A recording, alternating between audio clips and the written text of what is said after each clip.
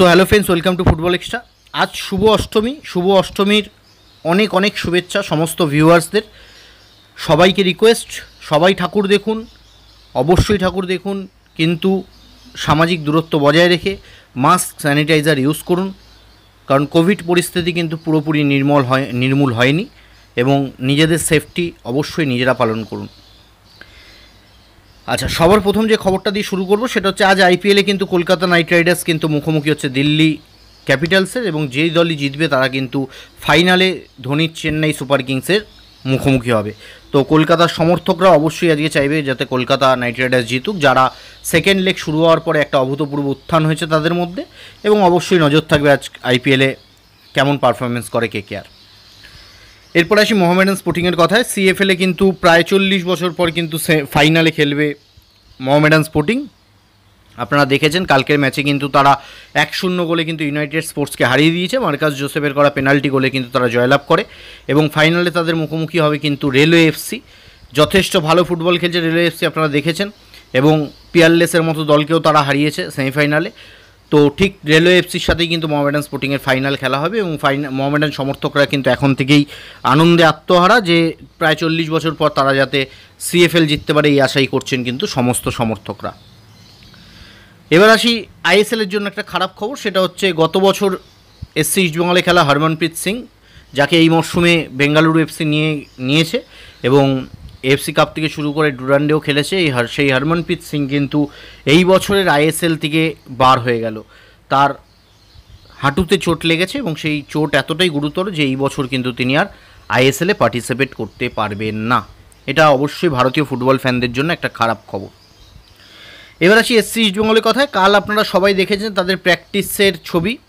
আমি তিন দিন কি চার দিন আগে যখন বলেছিলাম যে বল নিয়ে প্র্যাকটিস ইতিমধ্যে শুরু হয়ে গেছে, অনেক সমর্থকরা বা অনেক ভিউয়ার্সরা দেখলাম এসে হাসাহাসি করেছেন যে আপনারা কোথায় দেখলেন এখনও দেখা গেল না। যাই হোক অফিসিয়াল ছবি অনেক পরে রিলিজ হচ্ছে। যতটুকু খবর পাওয়া যাচ্ছে সেগুলোই আপনাদের সামনে তুলে ধরছি। তো প্র্যাকটিস জার্সিটা নিয়েও একটা কথা আছে। অনেকে বলেছিলেন প্রথম দিন যে একটা ব্লু রঙের জার্সি দেখেছিল যে সেটাই প্র্যাকটিস জার্সি এবং সেটাই সেটা অনেক সমর্থকের পছন্দ হয়নি। আমি তখনও বলেছিলাম যে ওটা প্র্যাকটিস জার্সি না। রিভার স্পোর্টস যখন অ্যানাউন্সমেন্ট হলো ফাইনাল অ্যানাউন্সমেন্ট তারপরেই কিন্তু প্র্যাকটিস জার্সির ছবি সামনে আসলো, আপনারা দেখলেন। এবং জার্সির সম্ভাবনা, জার্সির ছবিও কিন্তু খুব তাড়াতাড়ি সামনে চলে আসবে। আপনারা অবশ্যই কমেন্ট বক্সে জানাবেন যে আপনাদের কেমন লাগল এসসি ইস্টবেঙ্গলের এই মরশুমের প্র্যাকটিস জার্সি যদিও প্র্যাকটিস জার্সিটা কিন্তু আলেয়ান্দ্রো মেনেন্ডেস গার্সিয়ার কোয়েসের সময় প্র্যাকটিস জার্সির অনেকটা মিশ্রণ বা অনেকটা কাছাকাছি আছে, এটা আমার মনে হয়। আপনারাও দেখতে পারবেন ফটোতে তো আমার মতে কিন্তু প্র্যাকটিস জার্সিটা এসসি ইস্ট বেঙ্গলে ভালোই লাগছে। যদিও গত বছরের প্র্যাকটিস জার্সিটাও এসসি ইস্ট বেঙ্গলে কিন্তু খুব খারাপ হয়নি বা খারাপ হয়নি বলব ভালোই হয়েছিল।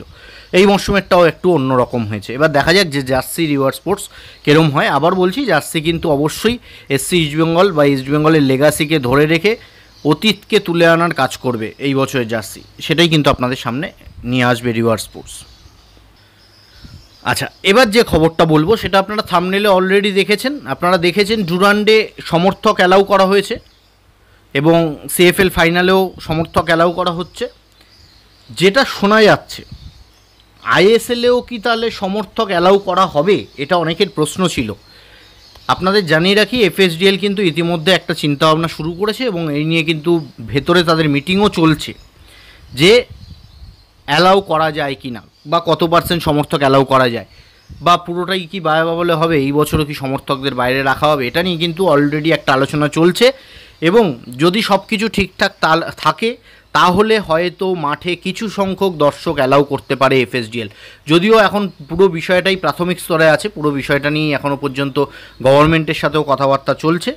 যদি সব কিছু ঠিকঠাক থাকে, তবে কিন্তু এই মরশুম থেকে সমর্থকরা গোয়ার মাঠে আইএসএলের স্বাদ কিন্তু নিতে পারবেন। এইটুকুনি কিন্তু আপনাদের বলে রাখা যায়। যারা জিজ্ঞেস করছিলেন সমর্থক অ্যালাউয়ের ব্যাপারটা, আপনাদের কিন্তু এটা ক্লিয়ার করে দিলাম। এবার আসি ডানিয়াল চিমার কথায়। ডানিয়াল চিমা কিন্তু যা শোনা যাচ্ছে, কাল থেকে কিন্তু তিনি প্র্যাকটিসে নামছেন। যতটুকু শোনা গেছে, কাল থেকে কিন্তু তিনি প্র্যাকটিসে নামছেন। প্রথমে ফিজিক্যাল ট্রেনিং করবেন, একদিন কি দুদিন, তারপরে কিন্তু বল পায়ে প্র্যাকটিসে নামবেন তিনি। তার একখানা আপনারা জানেন নাইজেরিয়া থেকে যখনই এসছে তার একটা আইসোলেশন চলছিল, দুদিন তিন দিনের আইসোলেশন চলছিল, সেটা কাটিয়ে কিন্তু কালকে দিকেই শোনা যাচ্ছে, তিনি প্র্যাকটিসে নামছেন। এবার সেটা অবশ্যই আমরা যখনই ছবি পাবো সেটাও আপনাদের দিয়ে দেবো, আর যদি এসসি বাংলা অফিসিয়াল পেজ থেকে বা কোনো প্লেয়ারের ইনস্টাগ্রাম স্টোরি বা যে কোনো জায়গা থেকে যদি ছবি পাওয়া যায়, সেটাও আমরা টেলিগ্রাম গ্রুপে বা চ্যানেল মেম্বারদের কিন্তু আমরা শেয়ার করে দিই। আচ্ছা যে খবরটা দিয়ে ভিডিওটা শেষ করব, সবাইকে একটা জিনিস আপনাদের জানিয়ে রাখি এসসি ইস্টবেঙ্গল এটিকে মোহনবাগানের সেকেন্ড ম্যাচ অর্থাৎ এটিকে মোহনবাগানও প্রথম ম্যাচ খেলবে, তারপরে তাদের ডার্বি। এসসি ইস্টবেঙ্গলও প্রথম ম্যাচ একুশে নভেম্বর খেলবে, তারপরে তাদের ডার্বি সাতাশ তারিখ। সাতাশ তারিখের ডার্বির জন্য এসসি ইস্টবেঙ্গল কিন্তু অলরেডি প্র্যাকটিস ম্যাচ অর্থাৎ প্রি সিজন প্র্যাকটিস ম্যাচ সেটা কিন্তু খেলবে বলে ঠিক করে নিয়েছে। অন্যদিকে এটিকে মোহনবাগান কিন্তু এখনও পর্যন্ত কোনো প্র্যাকটিস ম্যাচ স্লট বুক করেনি বা কোনো প্র্যাকটিস ম্যাচ খেলার কিন্তু এই মুহূর্তে চিন্তাভাবনাও নেই কোচ হাবাসে এটা কিন্তু আপনাদের জানিয়ে রাখলাম। অনেক মোহনবাগান সমর্থকও প্রশ্ন করছিলেন যে মোহনবাগান কার কার সাথে প্র্যাকটিস ম্যাচ খেলবে? পুরো এটিকে মোহনবাগান ম্যানেজমেন্টের কিন্তু কোনো প্র্যাকটিস ম্যাচ খেলার এখনও পর্যন্ত কোনো সম্ভাবনা নেই বা কোনো প্র্যাকটিস ম্যাচ খেলার জন্য কিন্তু কোচ হাবাসও কিন্তু কর্মকর্তাদের জানায়নি। অন্যদিকে এসসি ইস্টবেঙ্গল কিন্তু প্রায় চার থেকে পাঁচটা প্র্যাকটিস ম্যাচ খেলবে বা যা শোনা যাচ্ছে তাতে এই এই মাসেই অর্থাৎ এই মান্থেই কিন্তু দুটো হয়তো প্র্যাকটিস ম্যাচ এই মান্থেই খেলবে। এবং তার পরের মাসে পরের মাসে আপনারা জানেন এফসি গোয়ার সাথেও দুটো ফ্রেন্ডলি আছে। এবং পরের মাসে পরের মাসে হয়তো কেরালা ব্লাস্টার্সের সাথেও একটা প্র্যাকটিস ম্যাচ খেলবে।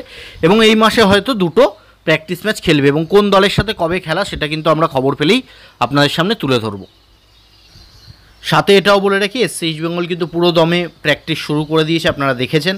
আপনারা প্রতিনিয়ত ছবি দেখছেন এবং প্রত্যেক দিন প্র্যাকটিস হচ্ছে এবং রাইট ব্যাক আকাশদীপ সিং, তিনিও কিন্তু দলের সাথেই আছেন, আপনারা হয়তো ছবি দেখেছ না অনেকের মনে একটা প্রশ্ন ছিল যে আকাশদীপ সিংয়ের ছবি পাওয়া যায়নি বা অফিসিয়াল অ্যানাউন্সমেন্ট হয়নি।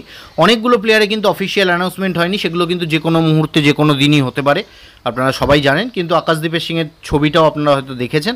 স্ক্রিনেও আমি দেওয়ার চেষ্টা করছি, যদি থাকে আমার কাছে, নিশ্চয়ই আপনাদের সামনে শেয়ার করে দেবো। এছাড়া বাকি প্রত্যেকটা প্লেয়ার কিন্তু ইতিমধ্যে কোচের অধীনে কিন্তু প্র্যাকটিসে নেমে গেছেন।